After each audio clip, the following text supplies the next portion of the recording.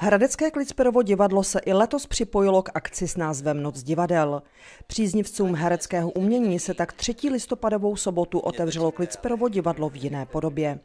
Diváci mohli zažít spoustu výjimečných zážitků a podívat se v divadle na místa, kam se běžně nedostanou. My jsme připravili pro naše diváky především prohlídky, jednak prohlídky tady vlastně foaje a našeho zákulisí, kde provádí naši herci v kostýmech ve svých rolích a pak máme i na objednávku eh, vlastně prohlídky toho zákulisí našich dílen, eh, krejčovny a vlásenkářské dílny a studia Beseda. Příznivci divadla zblízka nahlédli do krejčovny, kde se například dozvěděli, jak vzniká divadelní kostým že nejdříve přijde návrhář a přinese šaty buď z fundusu, které je nutné přešít pro potřeby dané hry, nebo předloží návrhy, které se v krejčovně nově ušijí.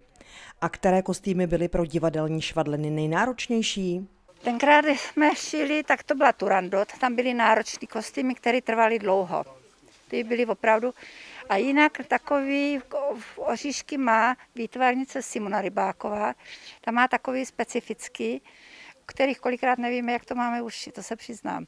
Takže tady dáme hlavy dohromady, aby to prostě jsme vymysleli. Přímo na jevišti pak technici návštěvníkům vysvětlovali, jak se pracuje s manipulační technikou, jak se staví divadelní scéna nebo pracuje s rekvizitami.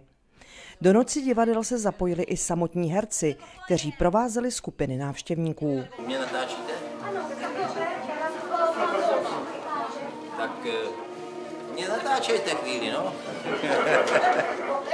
Není problém. To jsem já, teď se podívám takhle. Ano, teď se podívám takhle. Teď potřebuji kolegyni eh, Milušku ještě. Milenka ona je. Návštěvnost noci divadel byla letos o něco nižší a způsobila to hygienická opatření kvůli covidu.